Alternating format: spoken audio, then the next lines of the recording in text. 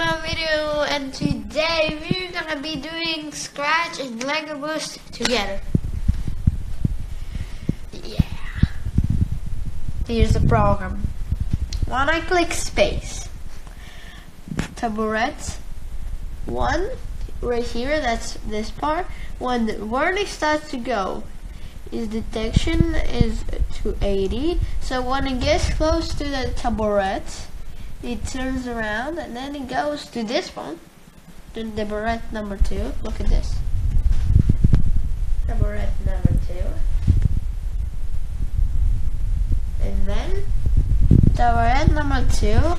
Then he turns around on. The same thing, just turning around on taburet two and then turning to this one. Now, so it detects the taburet one. Now he's gonna detect the taburet two, and he's gonna turn, and then he's gonna detect the not the taburet.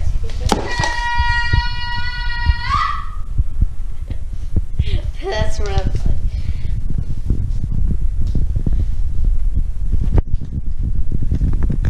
problem Picaxe is uh, to bot.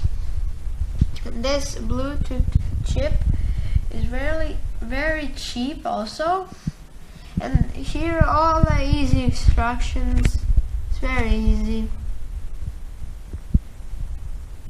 Put a link down in the description about Picaxe. And here are the tests.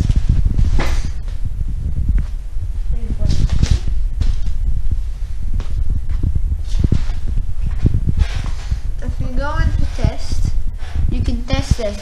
I like look like red, blue, move, turn, and move down. Cool. Uh, uh, let's now go into Scratch. Show you some things. I don't know. Something easy.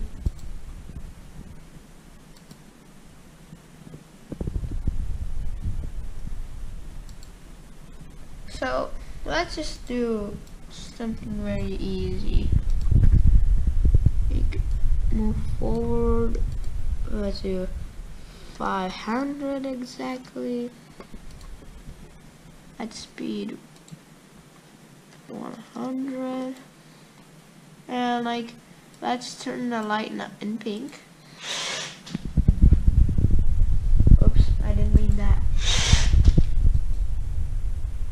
want it to be like uh, turned into to green